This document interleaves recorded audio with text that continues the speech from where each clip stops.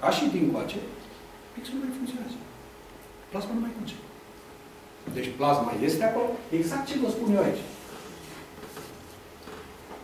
Dacă fac mai multe astfel de rezervoare de plasmă și le cuplez între ele, le pot da o direcție de curgere. Din modul cum înfășor bobinele și din modul cum fac straturile plasmatice, straturile de nanobilire. Asta e foarte important. De exemplu, la flacără, când pun bobinele la nanomerit, totdeauna vin cu flacăra de sus în jos, în sensul normal de circulația plasmei. Și chestia asta o fac de zeci de ori, pe toate părțile, până ce bobina devine uniform nanomerit. Cât pot eu să-mi dau seama. Nu fac măsurători. Bobinele le nano-învelit separat. Separat. Și le separat. după aceea. Și da. când le băgați una între alta, se mai apropie, se mai ia stratul ăla de nano, stratul nanocotat. După ce le-am nano-învelit, Da. le bag în soluția de gansuri și le usuc.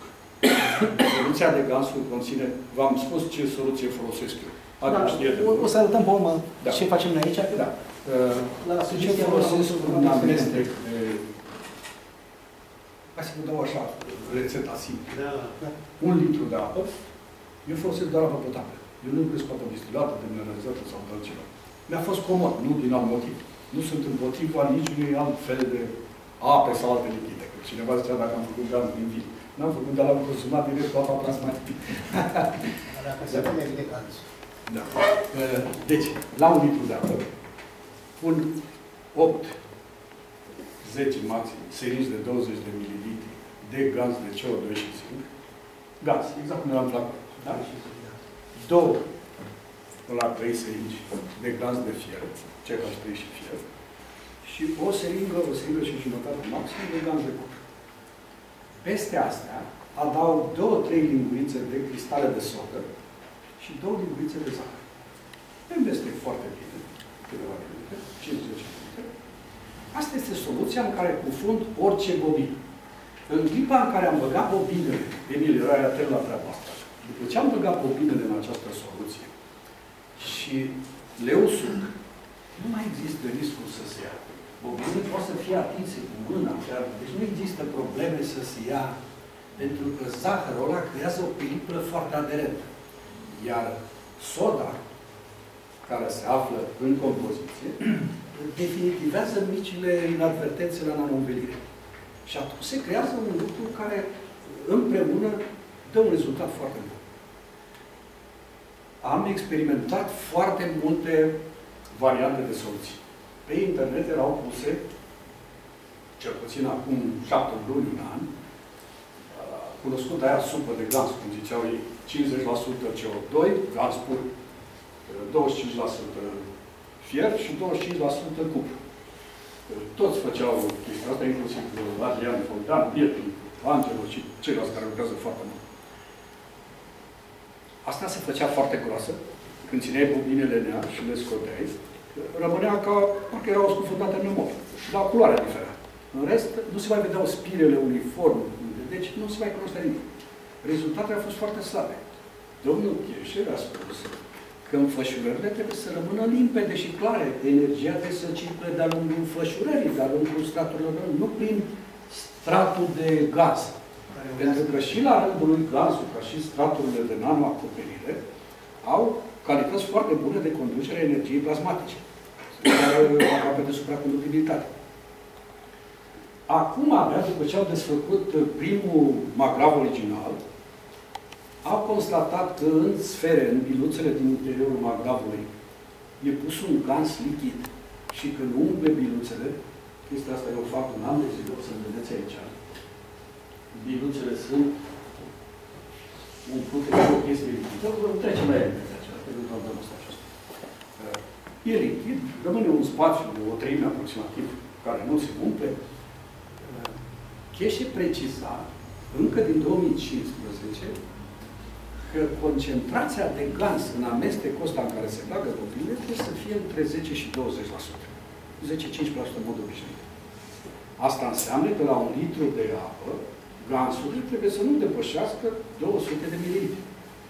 Dacă veți calcula seringile cum le pun eu, ele respectă acest principiu. Adăugând soda și zahărul, obținem două efecte suplimentare. completarea nanoînvelirii și o peliculă extrem de rezistență pe care o creează zahărul. Aderă foarte bine și devine extrem de rezistent. Da? După ce se face operația respectivă, urmează o scară. Vara e naturală, e caldă. Acum am o aerotermă, cred că 12 ore suflă continuu pe ele de mai întorc, de o sucă foarte bine. După ce s-au uscat complet, ele sunt uh, foarte rezistente, nu le poți râcui dacă chiar insisti, poți distruge orice, nu mă îndoiesc. Dar sunt excelente și funcționale. Da? Același lucru se întâmplă cu pixul. Dacă las bobinele doar nanoînvelite, pixul funcționează perfect, dar e foarte sensibil la umezare. Dacă apare umezare în atmosferă, absorbe umezare. Dacă îl trec prin soluțiile respective, nu mai are treabă cu umezare. Dacă e foarte bine făcută nanoînvelirea, conductorul poate conduce curent electric chiar în apă și chiar 220 de volt și nu până Nu vă recomand să faceți experimentul, pentru că am încercat. Deci, nanoînvelirea este esențială. Există cele două metode mari care le știm. Termică și chimică, cu caustică. Da? Cea termică, n-aș spune că una dintre ele are avantaje copleșitoare față de cealaltă sau dezavantaje. Cea termică necesită un pic de îndemânare la utilizarea lămpii de gaz, indiferent de ce tip este. Soda nu necesită nicio îndemânare. Le-ai pus într-un vas potrivit, așezat la fie că o faci cu apă fierbinte, fie cu sodă lichidă fierbinte, fie la rece. Doar timpul de nanoînvelire diferă. Mie la sodă nu mi-au plăcut două lucruri. Unu, că fug de când eram copil, că m-am fript odată cu sodă, cu leșie și cu sodă de asta, când se făcea săpunul la țară. Și de atunci am rămas cu dragoste pentru ea ieșită din comun. Și am evitat-o pentru că e corozivă, e caustic, e periculos. În al doilea rând, timpul de pregătire a unui set de bobine în sol este mult mai lung decât în cazul termic. La termic, sensul de curgere a plasmei îl dai direct din circulația flăcării deasupra bobinei. Acolo trebuie să faci nu știu câte descărcări, după aceea trebuie să le mai largi, nu știu cât durează săptămâni. Și așa, în mod obișnuit, construcția unui maglav durează 2-3 săptămâni. Dacă vrei să o faci corect și produci în același timp toate elementele de care ai nevoie. Dacă e să pierzi timp cu fiecare pe rând cu sortul, s-ar putea să o jumate. Dar eu lucrez trei odată, de regulă fac câte trei odată și le fac cu metoda asta termică. Acum, ce înseamnă, de ce am zis termic și nu cu flacă? Nu este obligatoriu să faci cu flacă. Poți să încălzești prin inducție, cum? Poți să încălzești în cuptor, de orice natură cuptor. Orice variantă. Deci trebuie să reținem că aceste nanotuburi de carbon nu vin din cupru și nu vin din flacără. Vin din atmosferă. Din aer, da? Același lucru se întâmplă cu gansul. Și aici vreau să emit o idee interesantă pe care vă rog să o judecați și dacă puteți să mă combateți civilizarea, m-aș bucura, dacă îmi dați dreptate după ce judecați și o testați. Eu consider că raportul de gans de CO2 și zinc este determinat de condiții care sunt exterioare reactorului și nu depinde doar de tipul de electros, cum se spune. Adică, după măsurătorile făcute, s-a constatat că la electrodul de grafit, minusul pe el și plusul pe zinc, sau la reactorul obișnuit cu cuplu nanoînvelit și zinc autoalimentare, procentul de gans de CO2 și zinc este același. 35 și 65%. Dar cât este de bun de pur? Dar nu, noțiunea asta de puritate, noi nu putem analiza, pentru că dacă facem niște analize chimice de toate N-am făcut, nu știu asta. Eu testez și gazurile și dispozitivele fizice prin efectele lor asupra noastră, a oamenilor, a plantelor, efectele energetice, n-am alte elemente de testare. Și eu constat că merg fără nici deosebire. Dacă pun pixul în gaz, făcut cu cupru, am făcut și din ăsta și așa cum arată. Sau în celălalt, și am încercat să fac deosebire. Același număr de bobine, același tip, totul identic. N-am sesizat nicio deosebire. Același lucru cu plasturii. Plasturii folosite de diferite persoane, am dat plasturi făcuți unii într-un fel, unii într-un fel, fără să specific, dar eu am notat. Și am spus să-i folosească un tip pe ăsta, după aceea un tip pe celălalt. Și puțin. Spirele la magraf trebuie puțin întinse că se poate să... O să ajungem, o să ajungem la magraf. Dacă ajungem la magra, Păi da, atunci de cealaltă categorie. dacă în anumbilirea se face caustic, trebuie o ușoară depărtare a spirelor ca soba să poată pătrunde lângă el. Dacă se face cu flacără, nu trebuie nicio, nicio depărtare. Observație din funcționare. La magraful la care spirele sunt foarte apropiate, practic în contact, da, da? așa la fizic. Da. Câmpul generat în jurul lor și efectul asupra nanomului este mult mai puternic. Cu cât rarefiez mai tare sau cresc spațiile între spire, cu atât câmpul se disipă și concentrația lui este mai scăzută. Să dau un exemplu concret. Nu am la mine magraful, dar Adi știe, cel care era pe Sibiu. Uite, e, da, uite acolo. E poza acolo sus pe... Ah, Acolo. da, da. Da. Uite, cel Ăla pe care Sibiu. l-ai făcut pe primul. Deci acolo era un mini magraf, același număr de spire ca astea, dar nu erau deloc întinți. Strânse, comprimate. Mi-a fost foarte greu să le leg, că era micuțe. Dar, în clipa când îl puneam pe frigider, de la frigider până pe holul unde făceam eu măsurăturile prin simțul ăsta direct, sunt 7 metri. Perfect, îl simțeam. Pe asta nu țin mai departe de 5 metri. Eu. Iar am un prieten, n-a putut să vină cu mine aici, că eu vin și la profesorul meu din Severin, vine mereu să vin la cursuri. Am fost cu el să montăm un magraf de 4 kW, mare, cu sârmă de 4 mm pătrați, asta cu 2 kW, la un prieten pe o instalație solară. În Șimea, lângă Severin acolo. Și el era undeva într-un colț al camerei, o cameră mare, așa 7-8 metri diagonală, uh, și stătea cu spatele spre frigider, pusesem două lăzi frigorifice pe magraf. Și stăteam toți de vorbă. Și în clipa când s-au cuplat uh, lăzile, el a sărit în picioare așa, parcă a dat cineva o comandă. Zice, ce mă cu tine? Bă, zice, ce câmp are. Deci el era extrem de sensibil. S-a programat special, nu nimic deloc. Carne, cafele, băuturi, chestii. Și câmpul era extrem de puternic pentru el. Pentru ceilalți al casei, unul din ei îl simțea extraordinar, ceilalți se duceau cu mâinile așa până lângă el și zicea, da, da, da, zice, emite căldură. Se simt ca valurile de căldură. Se simt niște valuri termice așa care vin. Culmea e că frecvența care pare a vibra nu este cea de 50 de Hz. Da? Una Trebuie să bună. fie o frecvență mai mare.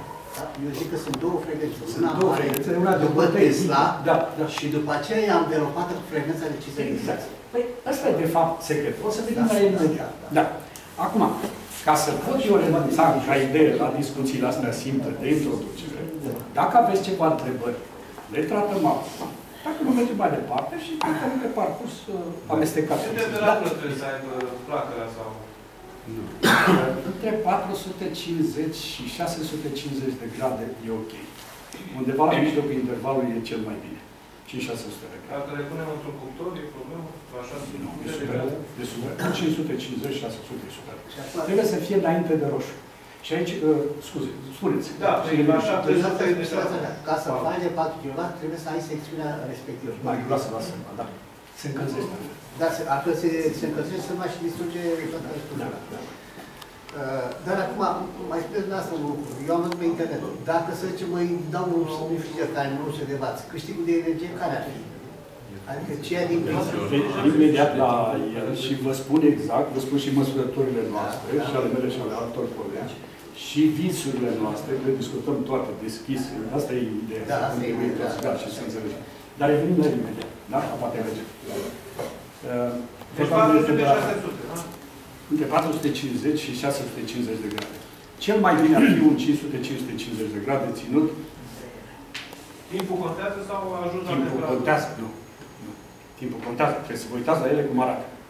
La flacără, eu fac cel puțin trei treceri prin flacără. Dar o trecere prin flacără înseamnă de fapt două la mine. Dacă asta este bobina, o atârg pe o soară și trec o dată, fără să insist foarte mult, capătă niște culori ciudate, albăstriu, nu știu ce. Apoi trec a doua oară și insist ușor, ușor, până ce ea devine neagră. Mă mut pe partea cealaltă. Fac același lucru. Două treceri. Da? Până ce o aduc la negru. O las să se răcească. Asta este o trecere sau o rundă. Vin din nou.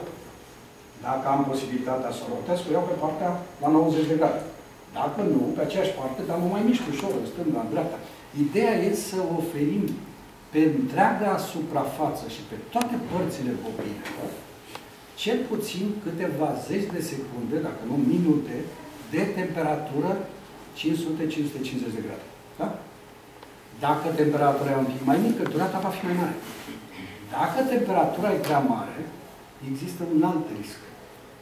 Se pot face oxizi doar la suprafață, un strat foarte rapid, dar nu se creează multitudinea aia de straturi. Noi vedem între 30 și 50 de mii de straturi, de nanostraturi. De asta este important ca trecerile să fie multiple și să o iei gradat.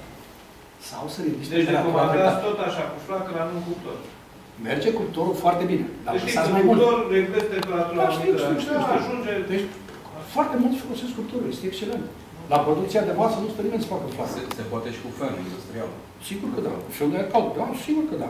Deci nu contează cum faci încălzirea. Se poate face prin inducție, electric. Da. Deci orice variantă vă puteți imagina. Nu, dar spunea la un moment dat că în în funcție de sensul care plimbați flacăra și Da. direcționați... Asta este important. Dar Eu în asta cuptor nu pot să fac asta. nu puteți face treaba asta. Dar dacă se face Da. după aia cu flacără, îi dai sensul. Uh, S-ar putea să nu fie necesar. Da? Eu am constatat că la cele la care am făcut cu flacăra așa, tot timpul, Sus și jos. da? De toată asta. Deci n-am mai mers. Am făcut tot felul de de teste care le-am putut imagina. Au funcționat la fel. Ca să nu ne mai facem și noi. Au funcționat la fel. De asta am venit la aici. Eu am venit să discutăm ce știu eu și ce am constatat eu. Vă transmit. Dacă le considerați utile, le folosiți. Dacă nu, le schimbați. Clar, deci eu fac la fel. Nu iau la litera ce spune nimeni. Le încerc. Ok. Și perfect. Și nu ne supărare. Iar dacă considerați din prima că undeva am greșit, eu vă spun ce argumente am și ce probe am făcut, Corect. e, cred că sunt bune. Iar dumneavoastră, dacă îmi dovediți că nu sunt bune, eu renunț la ele și fac lucruri mai bine. Toți vrem să găsim Dar mai cea avem mai o bună. întrebare, dacă îmi permiteți. Foarte. A zis la un moment dat că curentul de electrolită sau de... Da, da. Așa, trebuie să fie foarte mic. Dați Deci- o barem așa... Da, pentru, de fapt, am Ia putea să pentru judecăm probabil. în densități de curent. Dar eu o să vă dau un curent pentru un volum de uh, electroliză, de electrolit. De Da? litrul acesta de... La un vas de 3-5 litri, curentul trebuie să fie între 40 și 60 de miliamperi. Ca Dacă referință curentul, și dacă variații. curentul e mai mare, dar faceți probe. O să vedeți, de exemplu, că la reactorul de cupru, curentul e foarte mic de la mama lui, chiar dacă condițiile de alimentare și suprafețele electrozilor și volumul de lichid e același. Pentru că conductibilitatea lor e diferită. Sunt Da, Alte să-l lucruri. ții sub control. Și aici Și o timpul? vorbă mai trebuie să spun despre concentrația de sare și despre tipul de sare. Puteți să vă imaginați o mulțime de tipuri de reactoare folosind o mulțime, o mulțime de tipuri de sare. Am văzut sare de Himalaya, am văzut sare de la diferite omne din țară, am văzut uh, sare iodată și sare neiodată, am văzut nu știu câte. Eu am folosit în final un singur tip de sare. Sare mare, grunjoasă, neiodată. E sarea de sac care se folosește pentru animale. Dar Da, da, da, da. și apă chioară, adică apă potabilă. Poate de un, la un izvor de beau de zeci de ani și mă simt foarte bine. Concentrația câte linguri la Eu o dau în limburi, m-a certat un prieten că nu e o chestie tehnică, lingura. Foarte tehnică, degrabă ce trăiești pe ea o viață întreagă și... Da. Concentrația trebuie să fie între 3 și 10% în mod obișnuit. Dacă asta vă ajută chimic, să măsurați, altfel, o lingură de sare la litru sau două linguri la 2 litri jumătate, deci e foarte bine. Nu e critică. Nu e critică. Dacă veți pune mai puțină sare, o să se desfășoare mai greu reacția, că scade conductibilitatea soluției. Dacă puneți sare foarte multă, se vor forma cristale peste tot pe buza vasului și pe electroz. Reacția se desfășoară foarte rapid, zincul se face zob în două zile și la aruncați și puneți altul. De bateria se descarcă foarte repede dacă folosiți uh, metoda carbosticului, zicem noi, cu tise de carbon și cu zincul din baterie. Acum vorbim de puritatea elementelor care participă în reacție. Sunt două observații importante de făcut. Puteți căuta zinc pur. Pur 100% nu există. Noi știm că Perfecțiunea e pentru divinitate, pentru noi. Da? Dar găsit de 99, ceva la sută. Zincul electrotehnic din baterii îndeplinește aceleași condiții. Grafitul electrotehnic la fel și are rezultate foarte bune în conductivitatea electrică și nu se distruge. Dar au făcut cu 10. În țară am sute de oameni care au făcut chestia asta și produc gaz să ne știre. Da.